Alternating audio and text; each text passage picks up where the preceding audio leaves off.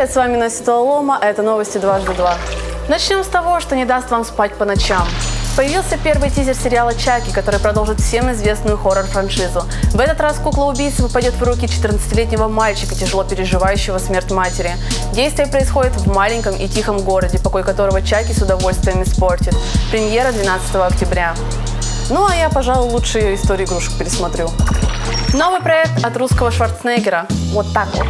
Вышел трейлер вестерна «Нападение на Рио Браво» с Александром Невским в главной роли.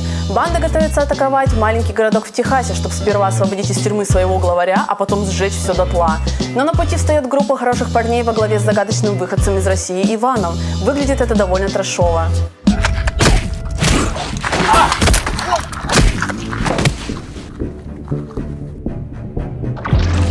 Жду ли я фильм? Абсолютно. А теперь возвращение инди-классики.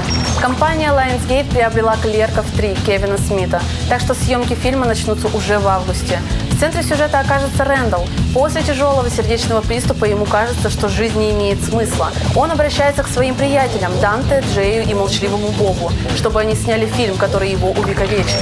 Кажется, Смит снова снимет смешное и душевное кино. Ну а с вами была Настя Тололома. Смотрите «Дважды два», читайте «Дважды два медиа» и будете знать все новости поп-культуры.